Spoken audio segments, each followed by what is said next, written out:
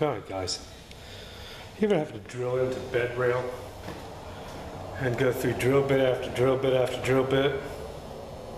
I just found something out about bed rail. The slower you can cut this stuff, the easier it cuts. And I mean, it cuts easy. But you gotta cut it super slow.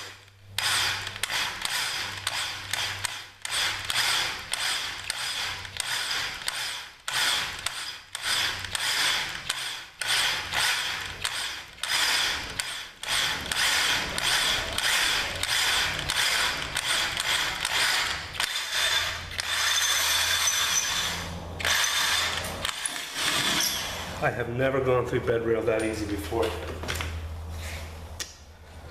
And the hole right beside it, I almost didn't make it through with my eighth inch bit because I was going too fast. As soon as you heat this stuff up, when you're going quick, I mean, as soon as it heats up, if you stop, that stuff hardens instantly and it does not want to get a drill bit through it. But if you keep it cold, cuts right through. All right, guys, just a quick little tip. And I know you've drilled through bed rail before or tried to cut it with a sawzall. Next time I cut it with a sawzall, I'm going to um, put it real slow with a new blade. Try not to heat it up. See if that works. All right, guys. Thanks for watching.